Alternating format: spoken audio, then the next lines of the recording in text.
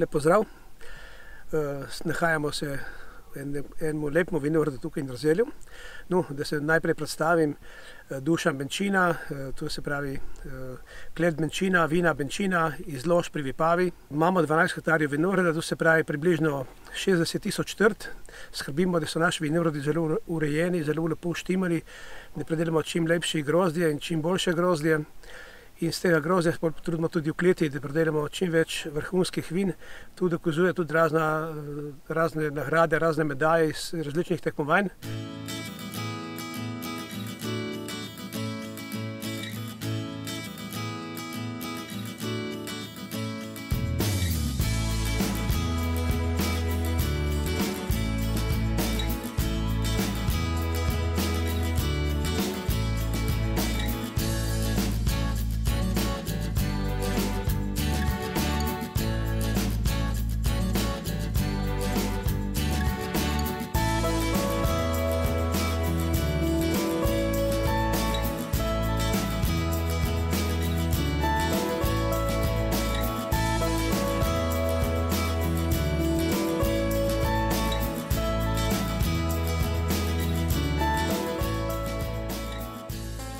Planinsko društvo Iskra Ljubljana pride že 10-15 leto, smo tukaj na trgatvi pri Dušanu Benčini in vidimo njegov napredek, kako je napredoval od mehkega vinarja do svetovno znanega v bistvu. Uh, ja, rada pridem v trgatu, zato mi je tukaj ima druženja, lepo, fajn ljudje so, uh, poznam celo družino, no, smo zmeraj tukaj zraven.